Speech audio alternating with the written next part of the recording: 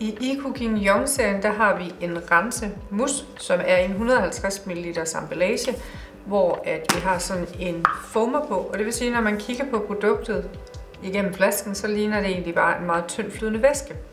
Når man så pumper den ud, fordi der er sådan en spiral herinde i, så får vi en skum. En meget, meget lækker blød skum, som er øh, med vilde, ikke vilde, milde vaskeaktiver. Der er øh, provitamin B5 øh, vitamin i, der er C-vitamin i til at få stabiliseret, fugtet og ikke mindst renset huden.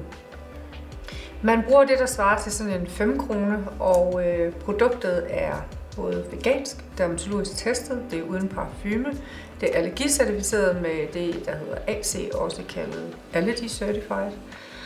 Og så øh, bruger vi jo den her, når det er i jungserien.